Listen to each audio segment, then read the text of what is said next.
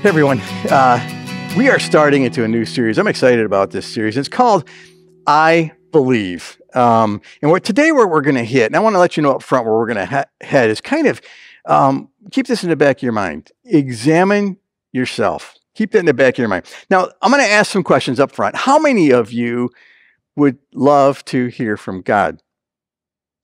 Uh, how many of you would love to see Him at work in your lives? To be led and, and guided by him, experiencing his peace and his comfort. I mean, I think all of us, right, would would love to to to know that or to be part of that. All of us would would love that, right? What we're going to talk about, what we're going to talk about today is, is what it means to be about a follower of Christ, but examining ourselves as a disciple and, and walking out this close relationship so the end result is that we are seeing Him at work. The end result is we are seeing His peace and His comfort in our lives. And I want to start with this, and I think it's really, really, really important, is what you believe matters. I want to repeat that. What you believe matters. What you believe actually guides your life. Example. So Lois and I have been kind of on this this healthy eating thing, right? Um, and and uh, it's got an end date. Thank goodness. It's t- like 20 days from now, and and and I want to continue to eat healthy, but this is really restrictive. And and so we've been doing it. And here's here's the bottom line to that. We believe that eating healthy and exercising changes our lives. Now, so far, and this has nothing to do with bragging, it's not anything like that, but I, as a result of healthy eating, um, I've lost 10 pounds. Now, I, I needed to um, lose that 10 pounds, but I've lost 10 pounds. What's that evidence of? It's evidence. I believe that healthy eating is important. And if I believe it, then I choose to live out a lifestyle that supports that, right? And again, let me let me let me go through another example.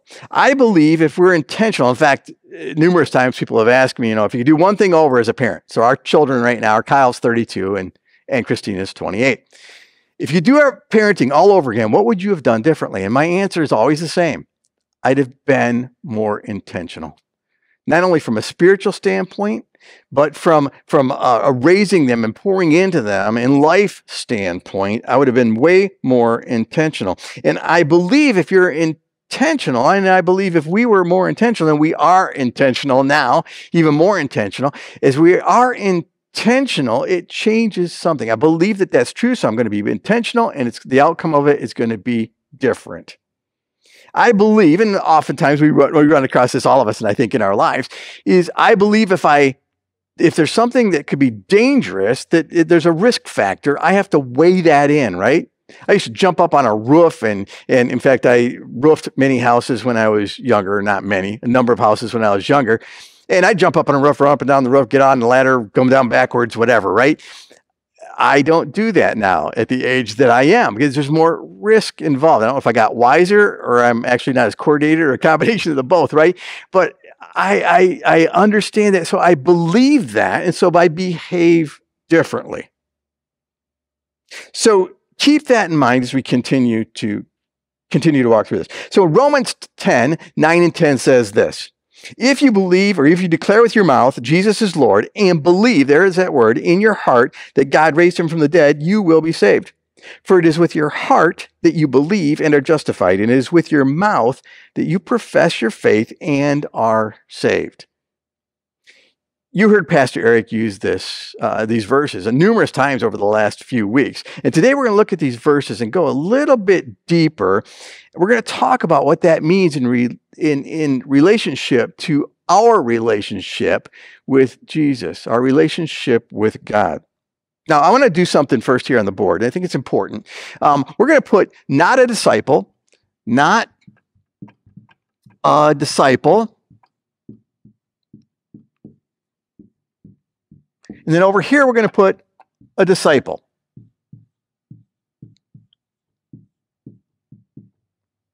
All right.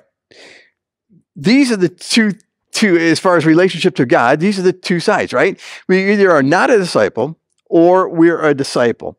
And why would we not be a disciple? Well, we just flat out may not believe, right? We just may not believe. Um, another reason is that um, we could believe, but we're choosing to reject. So we believe, but choose, but reject. We'll, we'll word it that way, but reject. So these two, we just flat out don't believe. There's not a God. I don't believe any of it. I'm going to live my life the way I want to live it. The second one, I believe. I believe there's a God. I believe He sent His Son Jesus to die for my sins. Um, I believe that that exists. I believe all of what you say is true. But you know what? I want to live my own life, and I'm rejecting that. Right? Or the third one, and it's this encompasses quite a bit. Um, maybe just not aware. So maybe you were never exposed to Christianity, right? You you never uh, that was something that wasn't a part of your life, never exposed to it, and so you're just not aware. You've never you've heard about Christianity, you've heard about church, but it's kind of somewhere else, and you've never really been confronted with, man, there's this choice out here to believe or not to believe, right? And over here on this side, we have the disciple, and they are a follower. They're a follower of Christ and they believe. So we're followers of Christ and we believe. So those are kind of the two sides, right? And here's the truth. And, and, and, and I want us to I want us to walk through this. I think it's important that, like it or not, we're being discipled by something or someone like it or not, we're being discipled by something or some, someone. So last week, uh, we were out on a boat. We were on vacation and we got to stay on this boat that was kind of out in the Gulf a little ways. And we had to take a smaller boat, boat out to it. It was a little whaler. And this little whaler is a 14 foot boat, had a little canopy covering it. But on the back of this was a motor, and they kind of rigged it so they had a piece of PVC attached to the motor, and that's how you would steer the boat. So you'd start it, and your throttle was up here and to the right. But as far as steering, you had this piece of PVC. Well, we're on our way out to the boat to stay on it a couple of nights, and partway out, the PVC just falls off right? And all of a sudden, the boat we're in is doing circles, right? We're going in circles. And uh, I jump up and I get to the back and I had to reattach that PVC to gain control of the boat. Truth of the matter is, I was driving and then I wasn't. And I think sometimes in our spiritual lives, right? Sometimes life wags us. I call it life wagging us. But it's, it's that, that, you know, we, some, we're being discipled, we're being led, we're following something, like it or not, something is discipling us. And if we were to follow each other around for a week, I think it'd be pretty obvious, wouldn't it? It'd be fairly obvious what it is that, well, that's leading us or what it is that we're following. So if I woke up with you or you woke up with me on Monday morning and you spent all day Monday till I went to bed at night and you did the same thing Tuesday and Wednesday and Thursday, the whole week, right? At the end of the week, what we're going to discover is what each of us is really being discipled by, or who or what each of us is following after. Question is, who are you following? Or who are you a disciple of? Or what are you a disciple of? I want to remind you, Romans 10, 9 and 10 says this If you declare with your mouth Jesus is Lord and believe in your heart that God raised him from the dead, you'll be saved. For it's with your heart that you do what? You believe and are justified. It is with your mouth that you profess your faith and are saved. Now, this is going to throw off a little bit what we said earlier, because as we dive into what this word believe means, you're going to see there's more to it than, than meets the eye. In the Greek, that word is pisteuo, pisteuo. And what that means is that, that I have faith in, or I have placed my trust, and I have entrusted myself to, right? So that believe, not that I just believe this through. I actually am entrusting myself. So, a great example of this. How many of you are familiar with the trust fall, right? The trust fall. So somebody stands here, right? And they, and for instance, if I was doing it, right, there'd be somebody behind me and I trust and I just go, that's a great illustration of what that word believe means, is to entrust myself. And, and, um, what we need to understand too is, is we are entrusting. So as a disciple, we are entrusting ourselves to God, believing in our heart and entrusting ourselves to God. And if we look at these verses in Romans, um, we believe with our heart, right? And then we profess with our mouth. Now, eh, here's the thing that all of us have walked through the influences in our life. So, an example would be great. So, if we look at us as elementary students, right? So, we're second, third, fourth grade, whatever, right? Are there influences in our lives? And all of it, there is, right? There's influences in our lives. And man, all of a sudden, all the kids are doing this. And so you want to be part of it. All the kids are doing this. You want to be part of it. The kids start talking a certain way. You start talking a certain way. They wear certain uh, shoes. I remember at that age, tennis shoes and and certain people would buy certain tennis shoes and man i wanted those tennis shoes i thought they were the coolest tennis shoes ever hit middle school and high school and there's other influences always these influences are things that we can follow what is again we'll use that word discipling right us what who or what are we following? As we get to adults it really doesn't change. I remember i remember lois and i were living in a city um, early on in our marriage, and it was kind of an affluent area that we were living in. It felt really like, and you've heard this term before, the keeping up with the Joneses. People cared what kind of car you drove. People cared what kind of clothes you wore. People cared what kind of purse you carried, what kind of glasses you had. And it was in all honesty, exhausting. In fact, when we moved to Midland, we were so, that was one of the things that just attracted us to the Midland area, is it just didn't seem at that point in time to be as important. That just didn't govern, at least the people we were hanging out with, didn't seem to govern their lives like it did with where we moved from. But we see these influences in our lives all the time, right? I bought cars because somebody around me was excited about cars. And I got excited about what they were excited about, and I bought a car. Recently, we've had some people around us that are really into identifying birds. They're into birding, right? And in fact, uh, one of the people from the church they bought us uh, this this really this really cool bird feeder. And other people have showed me these apps. Now I got an app on my phone. I know what kind of species of bird is making noises within like 100, 150 feet of me, right?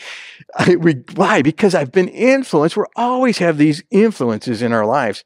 In fact, I don't know if you're familiar or not, but there was a movie that came out in 2020. It's called The Social Dilemma.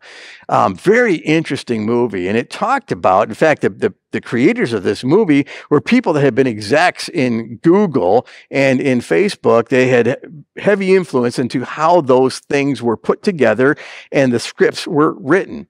And what ended up happening or what they found out and what this movie is about is the way that those um, those either search engines or again take like facebook or amazon or any of those kinds of, of um, techie type things. And when you begin to look at something so you look at something on facebook or you do a search for something you're going to buy on amazon or you look up something on google right? It watches you, it pays attention, and then it begins to feed you more of what it is you've been looking at.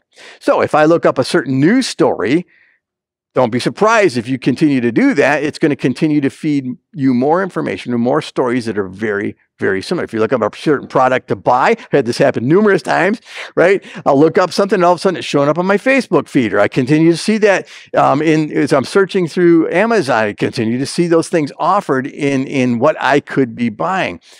Why? They know they can influence, right? So we have these influences all around us. It's just part of our culture, right? Do you know that four hours and 30 cents, 37 minutes, four hours and 37 minutes each day, the average person spends on their phone? That quickly adds up to one day every week, six days every month, and 70 days per year. You tell me, right? That influences us, right? So we have all these outside influences, yet we want to be a disciple and we're asking we our heart is that we would be disciple we'd be a disciple of god but we've allowed, allowed these other influences right to impact us. So let me throw through go through some really quick hypotheticals. What if culture convinced us that being successful were the utmost importance? What if culture convinced us that being the best at something would be a great goal? Whatever what if culture uh, convinced us that whatever you set your mind to, you can accomplish? What if culture convinced us that working hard, if you work hard, that just good things will always happen? What if culture convinced us that uh, attaching God somehow to our life was a good thing and makes you a good person with good values and good ethics. What if culture convinced us that, well, we should just live our lives alone and whatever you believe, you believe, and whatever I believe, I believe, and that's all okay? Hmm. I could go on, right? But you kind of get the point. We're influenced. We're being discipled by something. John Mark Comer, uh, this is a John Mark Comer book um, or quote from his book, and and I want I want um, practicing the way is the name of the book, and I want to read this quote to you. It says this: For those of us who desire to follow Jesus, here's the reality you must turn and face. If we're not being intentionally formed by Jesus Himself, then it's highly likely we're being unintentionally formed by someone or something else. I want to read that again.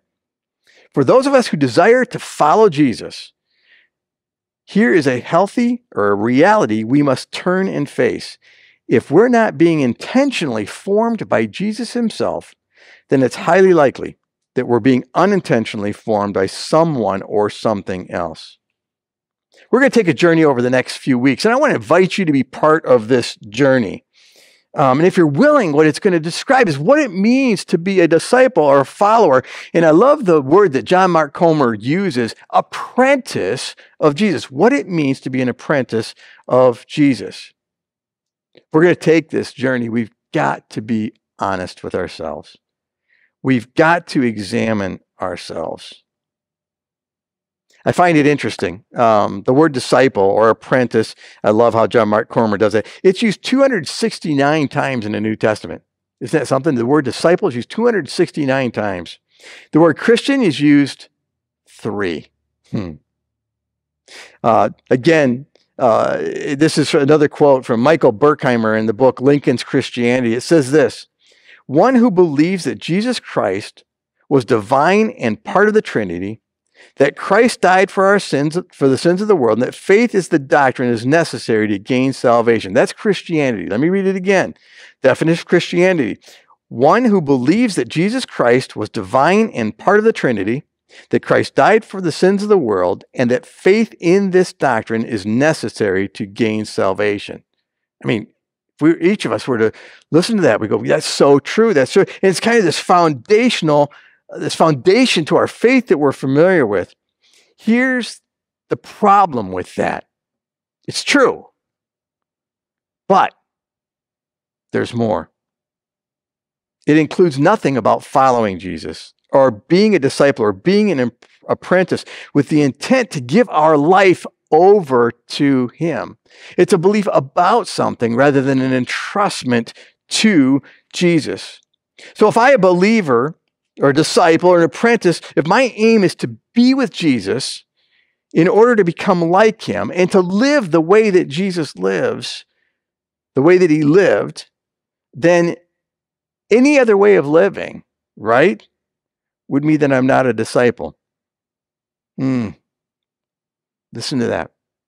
So, if as a believer or a disciple or an apprentice, whatever, however you want to, uh, followers of Christ, right? If our aim is to be with Jesus in order to become like him and live the way that he lived, then any other kind of living, if I chase any other kind of living, if any other kind of living is governing my life, then I'm not a disciple. Jesus never used the label Christian. Isn't that interesting? He said, Whoever wants to be my disciple must do what? You guys know this. Must do what? Follow me. Please understand, Jesus wants us to be a Christian. Hmm. But he doesn't want us to believe about him. He wants us to entrust our lives to him. 2 Corinthians 13, 5, we talked about this, examining ourselves. Listen to this. Examine yourself to see whether you are in the faith. Test yourselves. Do you not realize that Christ Jesus is in you, unless, of course, you fail the test? I want to read to you from another version. This is the Amplified Version. And what the Amplified Version does is it tends to expound on certain words or concepts. It's a, it's a direct um, quote, word for word quote, but it expands on those words a little bit. Listen to this. Test and evaluate yourselves to see whether you are in the faith and living your lives as committed believers. Examine yourselves, not me, or do you not recognize this about yourselves by an ongoing experience that Jesus Christ is in you, unless indeed you fail the test and are rejected as counterfeit? And I don't believe this is a one time evaluation. I believe that we wake up every morning and we evaluate ourselves and examine ourselves to make sure that we are where we need to be. Now, I want to, this is very important. Guys, this is not, this doesn't mean we're perfect. It doesn't mean we don't struggle. It doesn't mean that um, we don't have days that are just really difficult days and we do things wrong. What it means is we are truly disciples or followers that we truly believe in, have entrusted ourselves to Jesus. So when I fail, I ask for forgiveness. When I struggle, I ask for God's help. It's so important that as we walk out our lives, that we do this self examination over and over and over, not to, you know, not for this, I should be feel guilty or I should feel bad. That's not the point. Is to examine ourselves to make sure we are where we are, where we need to be, and that we're truly following Christ, that we haven't been sidetracked or distracted into following or being discipled by someone else. I want to I want to talk about this a little bit, what it means to be a disciple. Jesus of course, a teacher, right? And in, and in fact, um, he was referred to by the disciples as rabbi. If we look in Mark 9, Peter says Jesus, rabbi. If we look in John 1, um, this is some followers, disciples of John the Baptist, they refer to Jesus as rabbi. If we look at John 149, that was what John 138. If we look at John 149, Nathaniel says to him, rabbi. If we look in John 4:31, in the meantime his disciples said to him or urged him saying, rabbi. Now we know that Jesus is our King of Kings and Lord of Lords, the Messiah, right? Our risen Savior. We know that, but he was also a rabbi, a teacher. In fact, when they would talk about Jesus as a rabbi, he was their master or their teacher. And I want to walk through what it meant in that day. I think it helps us understand a little bit more even what God is looking for from us as disciples. So when you were around five or whatever in the in the, in the uh, Jewish culture, you would enter into school, and that was called um, a Bet Sefer. And you would be in the Bet Sefer through age 11 or 12, and it was hooked to the synagogue. It was probably either taught by a scribe or a teacher, those classes would be, and you'd be studying the Torah, the first five books of the Bible. Believe it or not, by age 11 or 12, those children had the Torah, Genesis, Exodus, Leviticus, Numbers, and Deuteronomy memorized, right? Now, if you were kind of a, uh, among the best of the brightest, your parents wanted you to stay and you wanted to stay, then you would request to stay, and then you would become part of, of the next uh, stage. Again, you'd enter around the age of 12, and it was called the Bet Midrash. And that was the house. It was that can be translated as the house of learning. Um, the the uh, Bet Sefer was re, was actually the house of the book or the Torah. But at age twelve, you would you would enter this house of learning, and and you would continue to memorize and study the Old Testament. Again, believe it or not, by age seventeen, you had the whole Old Testament memorized. After that, at this point, there were some choices, and many would choose to go home. Get they may get married, they might work on the farm, or if there was a trade that their family uh, maybe uh, was a part of, they might learn that trade and continue on with their lives. But the best and the brightest, and those who really wanted to be part of the religious um, and, and continue to study in that area of religion, they would then apprentice or they would disciple under a rabbi. They had to ask, they had to, they had to seek out a rabbi, somebody that they were attracted to his teachings, and they would approach him and say, I want to be part of what it is that you're doing. And they would do that. And if the rabbi probably would ask them questions, kind of grill them on things, and if he had room, he might add one or two or whatever, but they would become disciples of that rabbi. And you know what they would do at that point in time? They'd leave home.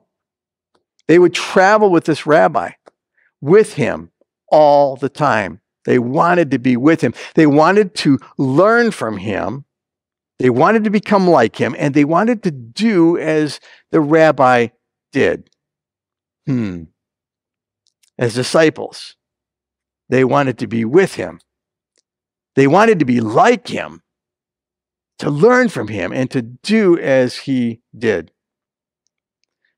Listen to these words in Luke 9:23 from Jesus. And he was saying to them all, if anyone wishes to follow me, this is from the Amplified Version, as my disciple, he must deny himself, set aside selfish interests, take up his cross daily, expressing a willingness to endure whatever may come, and follow me, believing in me, conforming to my example in living, and if need be, suffering, or perhaps dying because of faith in me. Wow. A disciple.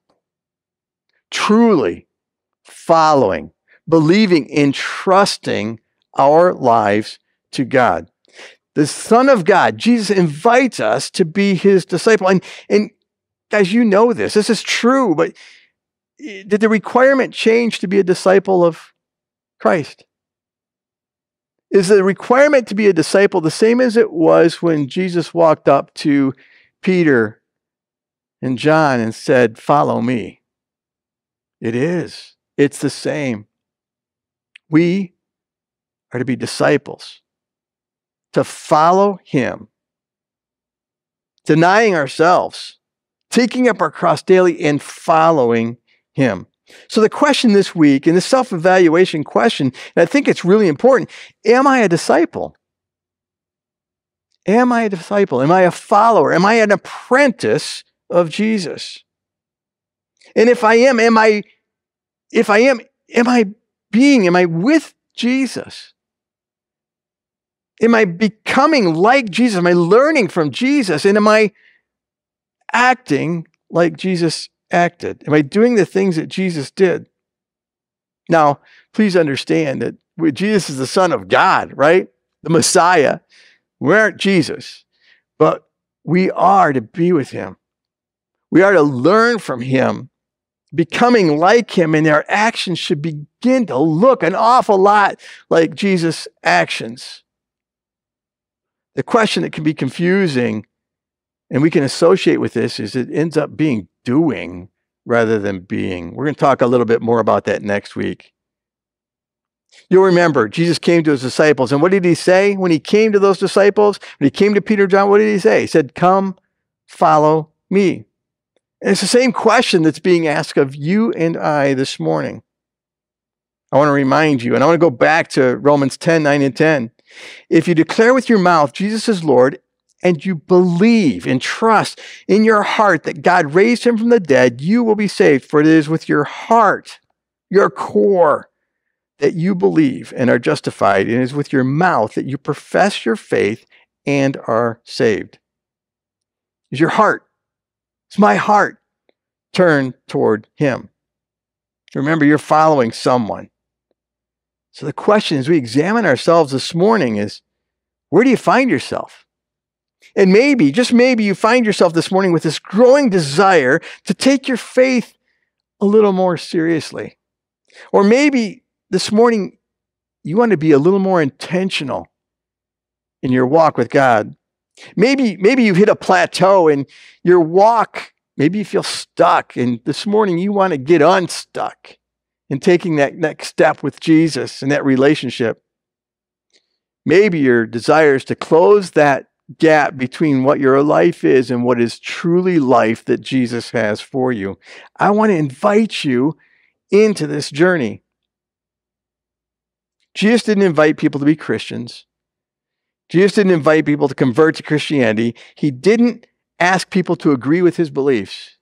He asked people to follow him, to be with him, to become like him, to learn from him, and that their actions would be actions that looked an awful lot like Jesus. Are you ready to take that journey? Are you ready to take that journey with us this morning? By the way, and you'll hear more, this is what life in the kingdom of God looks like. This is what life in the kingdom of God really looks like life as a disciple. So, here's what I want to kind of close with, and I think it's so important. And I want I want us to to this is our assignment for the week. Is I want you to think about these things. I really do. I want you to think about these things. It's so and so important. First thing is, are you being Are you setting aside time being with Jesus? Are you being with, are you spending time with Jesus? The second thing, are you listening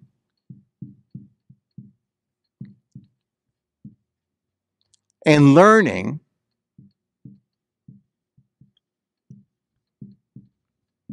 from Jesus? And the last thing, are your actions like Jesus. Now, this is what I want us to think about. So, as you walk out the rest of this week, what I want you to be thinking about are those three things. Just, just to begin to dwell on those and to ask that self examination and ask those questions. And then, hmm, and then what we're going to do over the next three weeks is we're going to walk through each one of those. Next week, we're going to talk about what it means to be with Jesus. And please understand, this is one thing before I close. That's one thing that's very important. This is not to make you feel guilty. I don't want you to um, to walk out of here if you're listening online. I don't want you to, wow, Gene, that boy, this thing between a not a disciple and disciple. Now you've just made me feel really bad about myself. This is a thing that I want you to jump into. I could, I could literally each week say some things that maybe stir you a little bit, but leave you comfortable. And guys, as I've walked through this and preparing for this for the last number of weeks, I'm convicted. And I, I have to share with you what I believe is truth from the Word of God. He's calling us to be disciples, apprentices, to be followers of Him. And it's an all in. So I want to invite you to this journey together with me. Let's pray. God, thank you for this time together this morning. Thank you for the truth from your word. God, would you please guide us in this journey that we would be authentic and real as we examine ourselves? God, would you grow us in this? Reveal those things in our hearts, maybe things that we've centered our lives around that aren't of you. God, if you need to convict us, convict us. If we need to surrender some more, then God, guide us in that, please. We want to be, our hearts to be disciples, followers, apprentices of Jesus. Guide us in this. As we walk through this next week, would you guide our minds as we pray and as we come to you, desiring to be followers of Christ? And God, for what you've done this morning, how you've led and guided us, thank you. And for what you're going to do, God, we give you praise. We pray this in Jesus' name. Amen. Thank you so much for joining us this morning. Um, love to have you come back and join us in person next week. And uh, we look forward to seeing you. Thank you.